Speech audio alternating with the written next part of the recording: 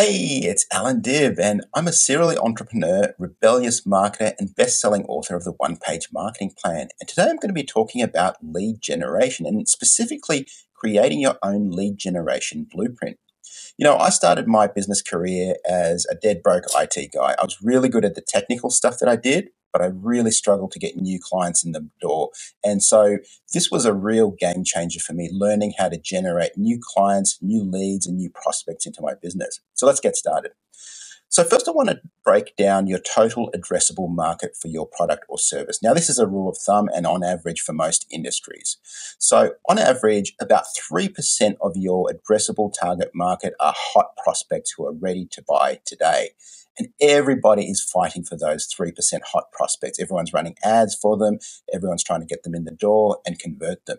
Now, here's the thing, and this is the exciting part. There's a further 7% that are really warm prospects. So these are people who are ready and open to buying, but maybe they need a little bit of help uh, in the process. Maybe they need some questions answered, or maybe they need to know a little bit more about your product or service or how you work.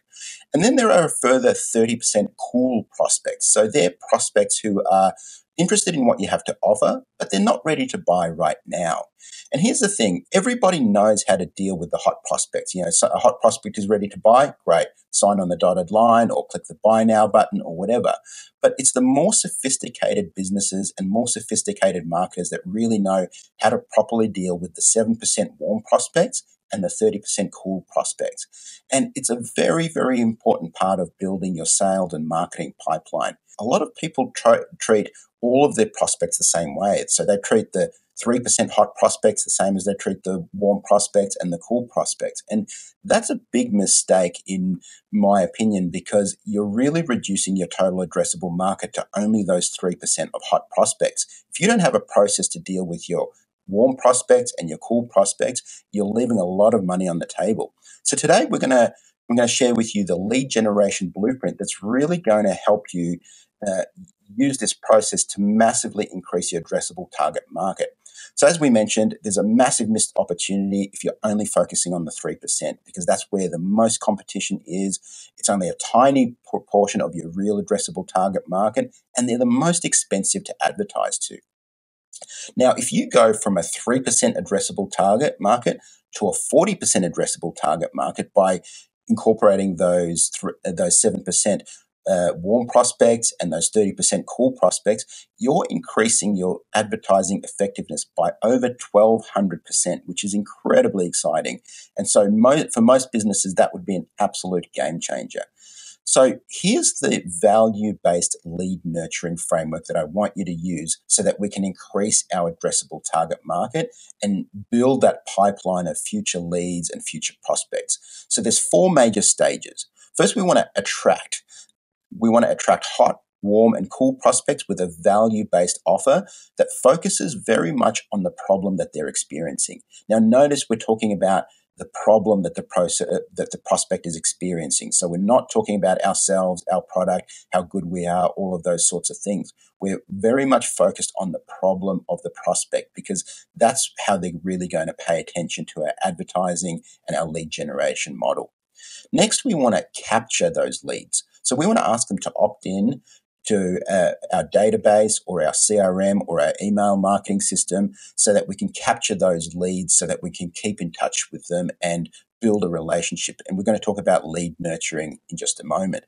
But uh, a question uh, that often comes up is when should I capture people into just like an email marketing system versus like a full blown CRM? And so my answer to that is you need a fully blown CRM when your requirements get a little bit more complex, when you're running automations, when you want to do something that's slightly more complex than just sending a weekly email to your list. Then once we've captured those leads, the next thing that we want to do is we want to nurture those leads. We want to nurture leads with value based education and information that helps them solve their problem. Remember, we attracted them by talking about their problem. Now, during the nurturing phase, we're talking about how we can help them solve the problem. And one of the things I really love to do in the nurture phase is show people we can help them by actually helping them. And so it, it, feels like a novel concept for a lot of businesses because so many people are just going for the jugular. They're trying to get the sale over the line as quickly as possible. And there's nothing wrong with selling to hot prospects, but if you're only selling to hot prospects, you're missing a very large percentage of your addressable market. So, what we want to do in the nurturing phase is to really build trust with them, give them a lot of value, show them that we can actually help them by actually helping them. And we'll show you a few examples of how to do that in just a moment. And then finally, once we've nurtured them, we naturally move into the conversion phase. So we convert these leads to paying clients when they mature and become ready to buy. And notice how we're waiting for them to become ready to buy. We're not pushing, we're not uh, kind of trying to cajole them into buying or anything like that. We're, we're just there when they're ready to buy. And it becomes a really natural part of the sales process. We don't have to be pushy. We don't have to be needy. We don't have to do re- weird sales closes and things like that. It's just a natural pro- process that comes as part of our lead nurturing. So, this is the value based lead nurturing framework. We're going to attract prospects. We're going to capture them in an email database or a CRM system. We're going to nurture them with value based content. And then finally, we're going to convert them to paying clients. So let's look at a couple of practical examples of this. So, first of all, here's John. John is a consultant with a large consulting firm. Uh, he's got a very rewarding career, but he works long hours. And, you know, lately he's noticed his fitness isn't where it used to be. He used to keep active by playing sports with his friends, but unfortunately he's got a really busy schedule and, you know, getting together with with his friends is becoming a much rarer event. Now, this is how John moves through the attract, capture, nurture, convert phase. So Fabian runs Fast Fitness. And so Fabian's Fast Fitness has a solution to John's problem. So, first of all, here's how it goes in the attract phase. John is browsing social media while he's waiting for his Uber to arrive. He sees an ad for a free video series on how to get fit with high intensity interval training in less than 15 minutes per day that's attractive to John because that's kind of an easy button and it's really speaking to the problem that he's got. So Fabian captures his leads because uh, John clicks on the ad. John likes the idea of staying fit without having to commit a lot of time. So he clicks on the ad, enters his email address, and requests the free video training series. So his details are captured. Fabian then sends him an automated series of emails and videos over a period of two weeks, showing him how to perform high intensity interval training exercises at home. John starts seeing results. He starts feeling better, starts uh, uh, doing the exercises at home. He's looking at how he should be training and the form that he needs to be doing. And, you know, he's now feeling really good about this. And he's feeling really good about Fabian's fast fitness because now he's getting a result in advance prior to this, he was feeling bad because he had no fitness program, and now he's got some sort of fitness program going. Then finally, we move into the convert phase. Fabian calls John to ask about his progress with high intensity interval training. And he explains to John how he can achieve his fitness goals faster by joining his CrossFit gym. And so Fabian's gym is conveniently located to John, and John signs up for a four week trial. So, this is how we've moved in this example from someone not knowing that Fabian's Fast Fitness even existed to becoming a paying client and buying for the very first time. So, this is one example. Let me show you another example. So Jenny runs a successful retail business in three locations.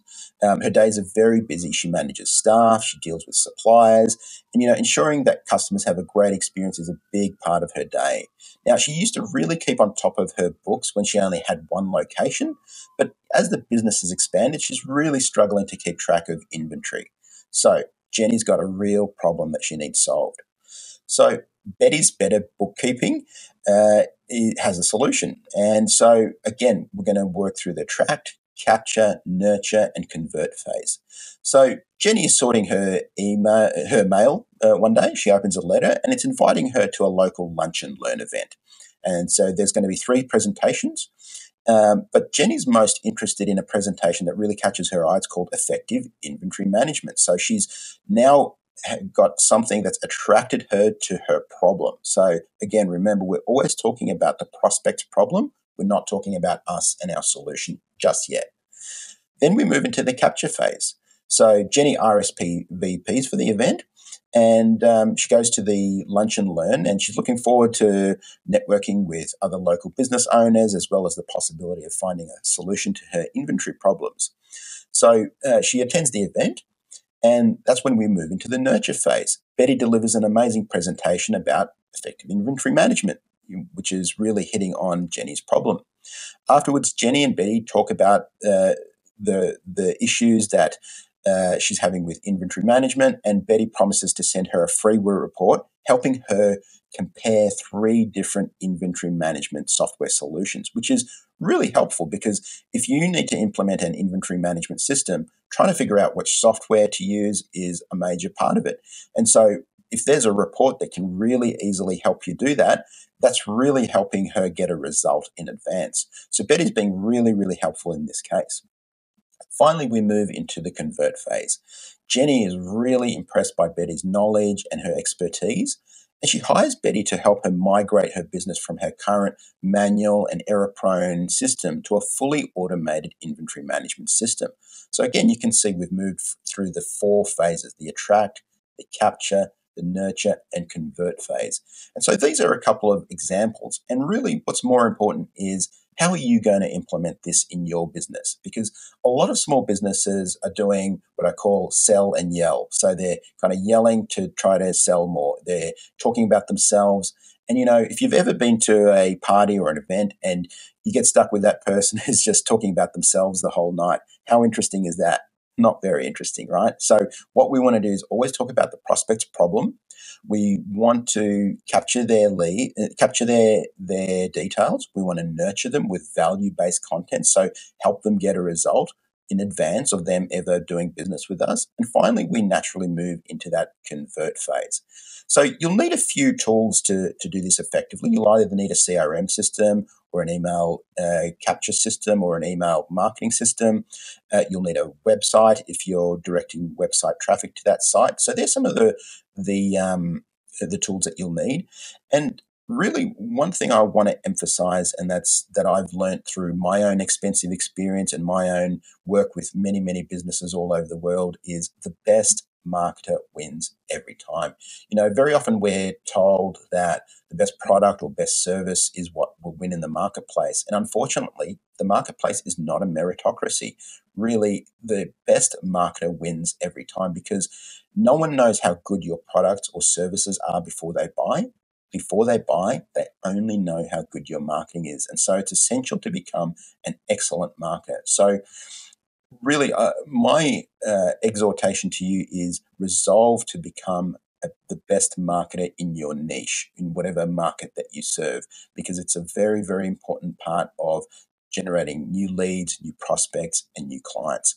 So, that's the that's today's presentation. And we've got a worksheet that you can download where you can really work through those four phases and figure out how are you going to generate your leads. So what's going to be your personal lead generation blueprint? So I encourage you to download that and really work through those four phases. How are you planning to attract your the attention of your target market? Are you going to use paid ads? Are you going to use social media? Are you going to use direct mail? Um, then how are you going to capture their details? You capture their details to a CRM system, an email marketing database? Uh, so we need to figure out how you're going to do that. Then how are you going to nurture those leads? Are you going to send them an email newsletter? Are you going to have a podcast? Are you going to have a video series? What valuable content can you create that's going to nurture those leads and lead them naturally through the buying cycle? And finally, what's going to be your strategy to convert those nurtured leads to paid clients? So, will you have in person sales? Will you sell uh, over the internet through an, an e commerce store or via a webinar or whatever may, may be relevant to you? So, really, uh, knowing and not doing is the same as not knowing. So, I really encourage you to implement this in your business. Figure out these four major phases for you. How are you going to attract, capture, nurture, and convert leads? Thank you so much. It's been a pleasure presenting this to you. Bye for now you.